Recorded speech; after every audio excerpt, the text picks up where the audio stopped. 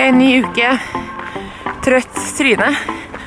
I offseason kan jeg sove så lenge jeg vil, men da blir man jo bare enda mer trøtt. Men nå er jeg på vei til eh, Røa bad med Sigrid, min venninne som har brukket beinet. Som driver og svømmer da, som opptrening.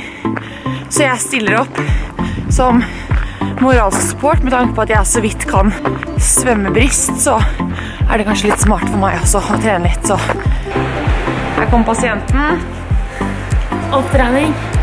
Nå er vi ferdig svømt. Vi har svømt intervaller. Fem ganger 100 meter, det høres kort ut, men det er veldig langt. Hva kjørte du, Sigrid? Krål. Krål. Annenhver krål og bryst. da. Jeg kjørte annenhver eh, eh, plask og brist. Eh, prøvde å kråle. Tror han eh, badevakten trodde jeg liksom var på vei mot drukning. Ja, de satt med deg begge to. da. De satt og fulgte godt med, da, for å si det sånn. Ja, Det var kritisk. Jeg vil ha den med det pålegget. Kresen type. Må bare snappe, snappe lunsjen sin, si. I supertrøya, sporty outfit. Og jeg forvirret meg inn på en kunstutstilling. Eh, prøver å samle voksenpoeng. Kunst er fortsatt kunst, eh, som jeg ikke helt forstår meg på. For eksempel her har vi en, en slange. En slange satt sammen av minnepinner, støpt i bronse. Eh, Uten at det må være noe med at det liksom det har minne og det har smak eller et eller annet. Uten at jeg er helt sikker på den eller denne. Da kan man jo spørre seg selv hva er tanken til det? Det har ikke jeg svar på, i hvert fall. Men det er i hvert fall et eh, omformet eh, gipsbeger. Uten at det gir meg noe mer svar. Nå skal det bake, kake. Det virker kanskje som jeg ikke gjør annet enn å bake kake. Men eh, det er jo kanskje litt sant også. Men nå, hvis du ser her da, så er det bare masse fancy ingredienser, ikke sant? Eh, fordi jeg skal lage raw cake, raw snickerskake, som jeg spiste på Oslo Raw her om dagen, som bare var helt magisk. Det var jo litt mer komplisert å lage selv enn jeg hadde tenkt. Men dette skal da eh, bli bunnen. Det er bare masse spiret bokhvete og kokosblomsukker og ja, eh, dadler her og bare masse snadder.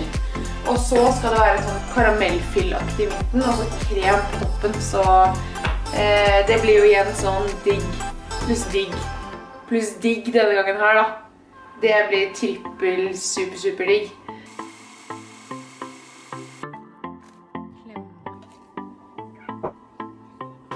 Vet ikke om det var helt hele vi skal bruke, men kjøre på, tenker jeg.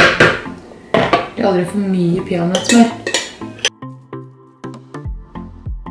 Jeg anbefaler alle som skal bake denne kaken her, å ha en god foodprosessor.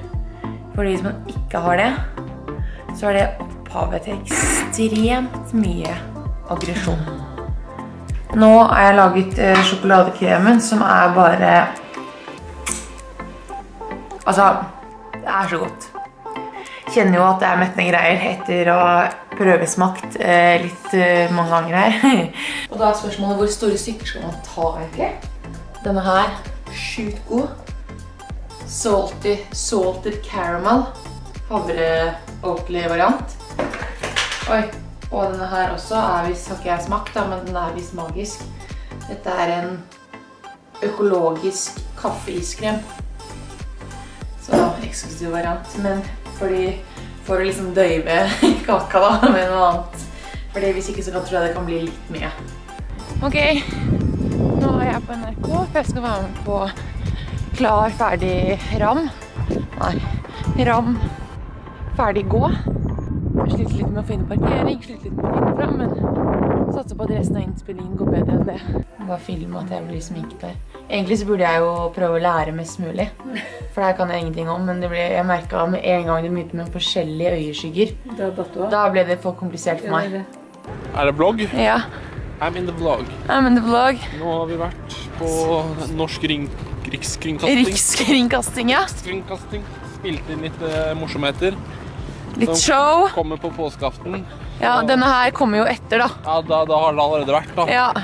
Da kan jeg jo si at, Håper eh, folk syns det var bra. at jeg vant! Tror du det ble bra, men det er slitsomt å spille inn TV. Jeg har veldig vondt i ryggen. Ja. Ryggskader og ja, jeg må sende en liten sånn her sykemelding nå. ja. Sykemelding resten av april. Ok, nå har jeg kommet meg opp på hytta.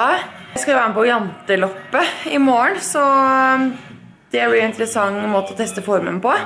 Men først så kommer eh, Turi hit på besøk, og jeg håper hun er sulten fordi jeg har laget frokost. Som vanlig laget eh, ganske mye da. Eh, vi har sånn familiesykdom at alle er livredd for at det skal bli for lite mat. Så derfor lager man alltid for mye. Eh, og så tenker man sånn, ok, men da blir det jo rester. Men da ender det alltid med at man heller da spiser for mye. Man spiser helt til det blir tomt. Jeg trodde jo jeg hadde gjort et bomkjøp, ikke sant? Men det har jeg ikke. Faktisk et så godt kjøp at jeg har tatt med meg melkeskummeren på påskeferie. Da er du fornøyd. Så nå, siste lille Å ja, er det sånn? Det er sjukt smart. Ja. Men er liksom, den er ikke sånn zzz, Nei. Fordi jeg er liksom back to basic. Skal være manuelt. Man må ha induksjon, da, så det er sånn så det er ikke så manuelt. da. Og bare en liter kaffe. Ja, men jeg var litt opptatt selv, og så tenkte jeg sånn Det er sikkert Turi òg. Ja, Så da gikk jeg for det, da. helt nydelig. Jeg vet at du har glad kaffe. Ja, jeg elsker kaffe. Og sånn her bruker jeg òg. Ja, den er sjukt god. Ikke svans. Jeg ønsker det var det.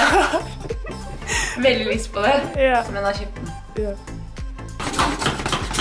Kinesmør. smør. For mye. Og det er du som har oppholdt den som går her. Ja. Men det er jo en eller annen hellig mekanisme her som jeg ikke helt har forstått. Ja. For det er helt åpenbart at det ikke skal gjøres på denne måten. ja, nei. Kanskje ikke helt sånn. Sjekk der, da. Det er jo barista her nå. Å, Ja. fy, den var god. Ja, du kjenner at det er liksom gjort på hånd? Ja. Det er kima. Jeg kima det skummet. Hjemmekima skum. Hjemmekjøpa.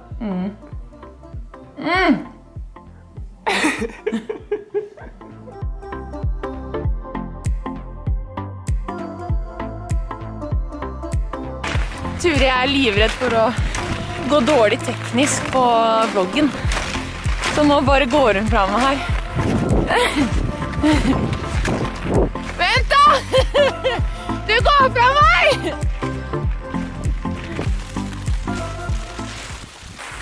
Nå er jeg på vei til janteloppet. Satser på at jeg har et par gode ski. Så shout-out og takk til Eirik Mysen som eh, plukka opp et par ski på Dombås til meg. Oi. Da revna renndressen. Det var jo en bra start, da.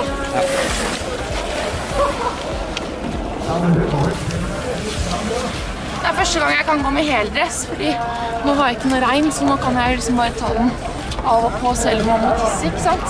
Er du uvant til å ikke ha på børse, eller? Ja, det blir digg å ikke ha fire kilo ekstra i dag. Sjeldent nervøs, fordi det var liksom så sjukt mye folk her. Alle er bare sånn Alle er så kule, liksom. Starten var feil vei. Nå stresser jeg, ass. Drukket nok? Nei, Spist? Spist? Nei jeg spiser en skive hjemme. Ikke jeg klarer å holde meg. Jeg er løs i magen. Jeg er skikkelig løs i. Bra, det. Det er bra, det.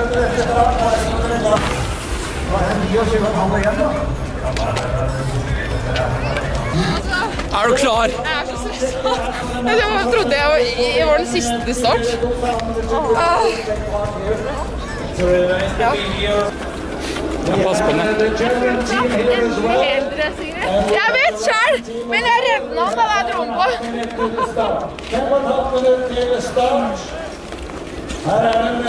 på. Nei, han sa starten! Han tar starten! Petter Northug! Herre min hatt! Nå må vi flytte oss, for her kommer hele feltet, og her går det unna! Så tar Northug sin starter! Til til engasjement. Og så kommer Sindre Nærmestad. Ja, Tiril! Nei, ja, Ingrid, ikke gå for hardt nå! Pause nå? Tar du pause nå? Jeg er helt ferdig. Jeg må ta en liten pause. Ja. Og så, men jeg leda litt, da. Hvor lenge? Ja, her går 300 meter. Her er Marte Vellum Johansen også. Det er sterkt. Her kommer tredje dame. Her kommer Ingrid Almar Tandrevold. Gratulerer. Du er faktisk beste norske, Ingrid. Og vet du hva, Ingrid? Du slår Petter Northug.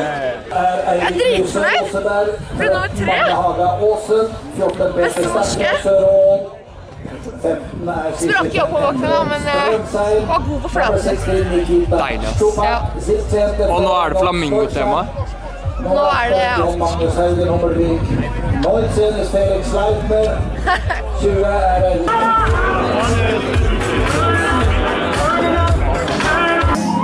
Og så har vi Jeg stolt. queen of the mountain kvinner.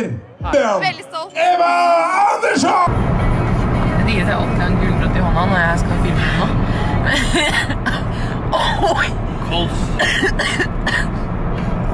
Hei sann. Det er et resultat av janteloppet i går. Og nå er vi på vei Hei, hei. Stumme. Ja, nå er vi på vei til eh, Romsdalen og skal eh, på Rando. Det blir en ny vlogg. Så egentlig skulle jeg bare takke for eh, denne ukas vlogg, og så eh, vise da hvor kreativ man kan være når man ikke har en skje, men skal spise vafler med syltetøy i bilen. Da kan man nemlig gjøre sånn her. Er så bra det her funka. Litt imponert over det her.